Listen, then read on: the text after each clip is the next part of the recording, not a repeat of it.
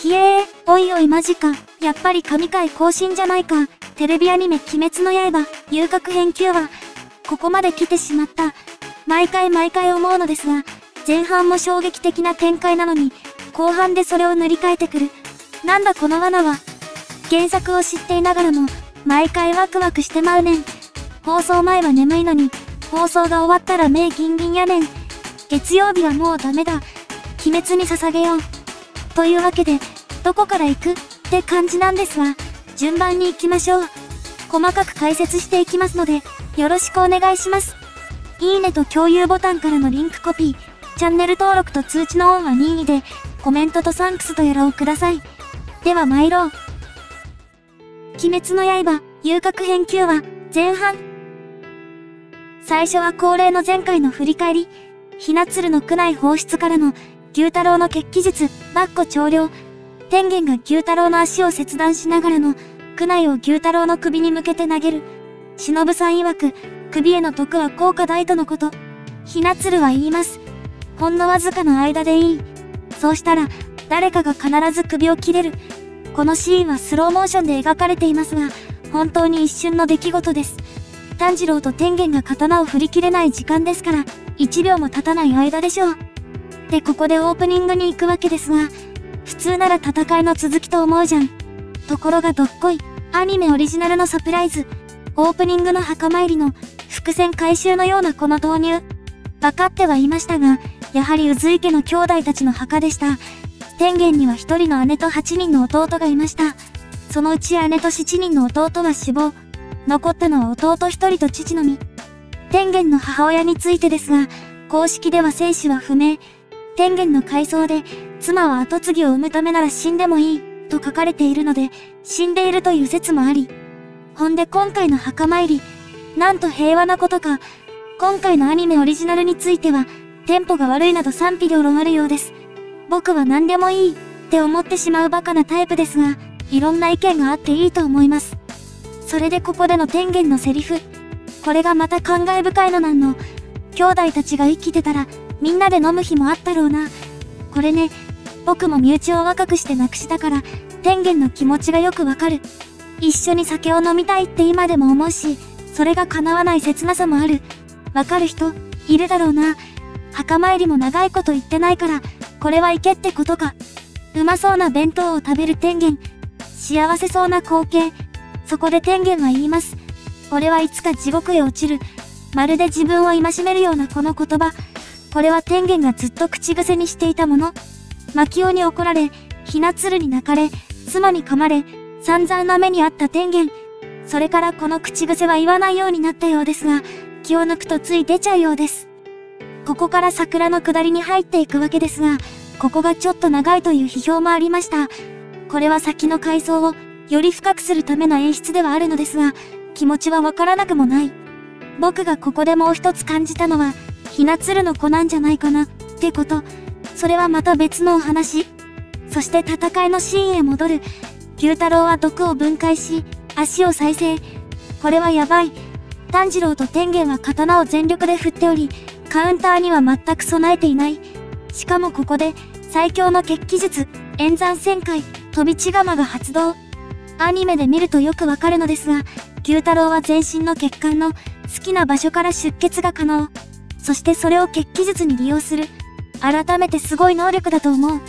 腕の振りも、予備動作もなく飛び出す飛び地釜。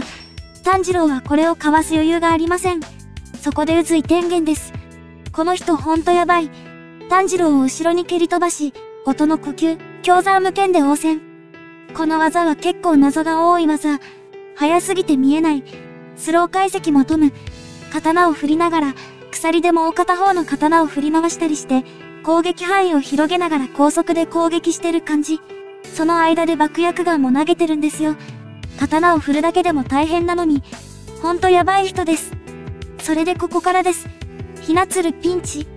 原作では一瞬でひなつるが捕まるのですが、アニメでは、天元に襲いかかる帯で臨場感を増幅。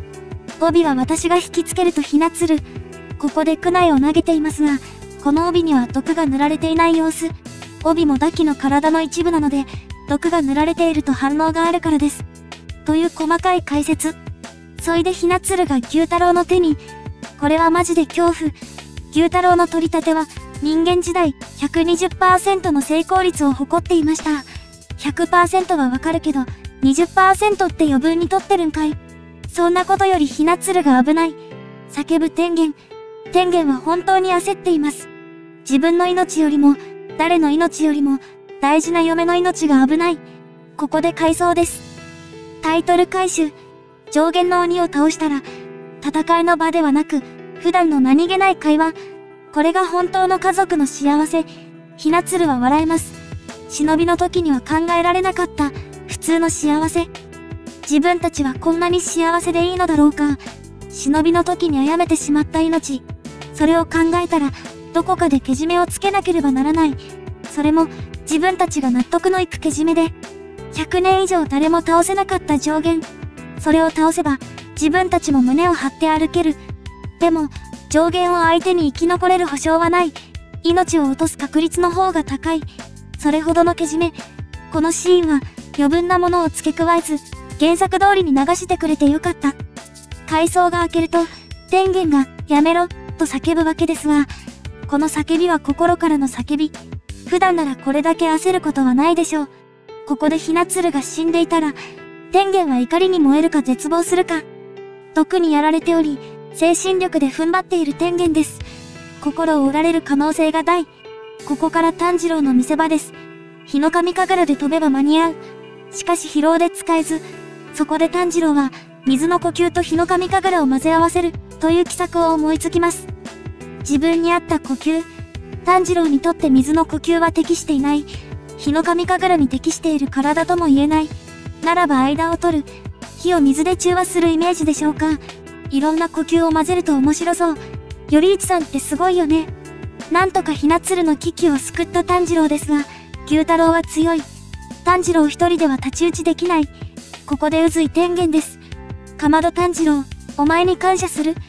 これは僕が天元のセリフの中でも、最も好きなセリフの一つ。牛太郎の首に天元の刀が届く。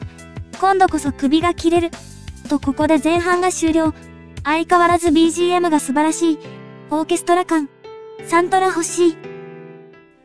鬼滅の刃、遊郭編、9話、後半。後半の開始は、ダキと善逸伊之助の戦い。伊之助はダキの帯を切れない。ダキの帯って結構硬いんです。善逸も通常時は帯を切れていませんが、霹靂一戦のスピードなら切れています。切れる速度か双方向か、ここが肝です。合わせて首を切らなければ、という伊之助ですが、善逸は、同時に切る必要はない、と言います。善逸がその確信を持っているわけもなく、これは伊之助を落ち着かせるための声掛けだと思います。それにしても、善逸の声が男前、いつもの高音からの、この渋い低音、ギャップに燃えます。顔も凛々しくて、寝てる設定がもはやネタ。そして再び牛太郎、炭治郎と天元が、前後から牛太郎の首にめがけて刀を振ります。それを鎌で防ぐ牛太郎。鎌を変形させ、刀を固定します。天元はもう一方の刀で再度首を攻撃。牛太郎は両手を塞がれ、防ぐ術がありません。と思いきや、首を回転させて刀を加えてしまいます。首を後ろに回すなという、至極真っ当な天元の突っ込みが入り、ここで牛太郎が決起術を発動。演算旋回、飛び血釜。さっきと同じパターン。ここでも炭治郎は天元に救われます。アニメだとわかりやすい。天元が屋根を踏み込み、牛太郎を巻き添えにジャンプ。これで炭治郎の刀と牛太郎の鎌を分離。ここでひなつるが炭治郎を支えてるのも良き。そしてここからです。ここからがアニメ9話で一番興奮した、貴重なかまぼこ隊の共闘。伊之助のやるせない気持ち。何のために修行をしてきた。伊之助は一番悔しかったはず。あの時の悔しさを思い出せ。ここで炭治郎が、ダキの首の切り方について叫びます。相当な速度か、もしくは複数の方向から切らなければ。炭治郎の方を振り返った伊之助は、ここであることに気づきます。善逸と伊之助の二人の時よりも、帯の攻撃が分散され、一人一人に対する攻撃が緩まっている気がする。そう思うことにした伊之助。テンションを上げていきます。複数の方向なら、二刀流の俺に任せておけ。ちゃんと炭治郎の言葉も聞いていた伊之助。三人なら勝てるぜ、と言います。このかまぼこ隊の共闘を見ていると、炭治郎と伊之助が最初に喧嘩した時を思い出します。境外の屋敷での一悶着。あの時から伊之助は、体も心も強くなり、協調性もだんだんと成長しています。無限列車編では炭治郎と共闘して閻魔を倒すも、上限の差を前に手も足も出せなかった。でも今は違う。3人なら上限を相手に戦える。冗談交じりだったリーダー的存在も、今や現実のもの。あの伊之助が中心にいる。それをカバーする炭治郎と善逸。なんだか我が子を見ているようで、涙がポロリ。伊之助はただ前に進むのに、防御は捨てても大丈夫。炭治郎と善逸への信頼感。三人の絆です。炭治郎は力を振り絞り、水の呼吸で応戦。善逸は霹靂一戦、八連を繰り出します。このシーンは原作通り。伊之助は、傷を負いながらも前進を続けます。そしてついに、ダキの首に刀が、ここで繰り出す伊之助の毛玉の呼吸、六の型、乱食い髪。これがシュール。ノコギリみたいにギコギコと、ダキの首の断面はこの通り。そして、ダキの首をキャッチする伊之助。ここは伊之助の起点が効いています。首をつなげないように、遠くへ持って逃げようと走る伊之助。そこへ牛太郎の吸収。心臓あたりを、毒の鎌で貫かれた伊之助。首は奪われてしまいました。なぜここに牛太郎が、戦っていた天元は、下を見る炭治郎。そこには腕を切断され、地面に倒れている天元の姿が、それを見て絶望する炭治郎。そこにダキの帯の攻撃。善逸が炭治郎をかばえます。地面に落ちていく炭治郎。伊之助の安否は、善逸はどうなる？天元は死んでしまったのか？もはや絶望しかないのか？次週を待て。まとめ的なもの今回は、前半の階層について賛否両論あるものの、後半のかまぼこ隊の共闘で流れを変えてくれた感がある回でした。そこからの絶望、もう全滅です。人間の辛いところは、傷ついたらすぐには回復しないということ。鬼はすぐに再生できる。ただ、ダキや牛太郎は血気術を使うことで消耗していきます。ずっと無限に戦えるわけではありません。体力を消耗すれば、人を食う必要があるのです。にしても、伊之助推しになりそうなぐらい、今回の伊之助は良かった。これまた賛否両論というか、伊之助らしいというか、ノコギリとは。ちなみに、コメントでもいただいたのですが、伊之助の呼吸は、牙とつくものは攻撃系、空間色覚や爆裂猛進のような特殊スキルは、型、と命名しているようです。伊之助なりに考えているのです。かまぼこ体のパワーバランスという観点からも、非常に面白いものが見える回でした。今のダキの帯は、通常時だと誰も切れていません。善逸は、霹靂一戦でなら切れるという場面がありました。炭治郎は日の神神楽モードなら切れる。伊之助は二刀流という唯一の武器を使い、上限のダキの首を切った。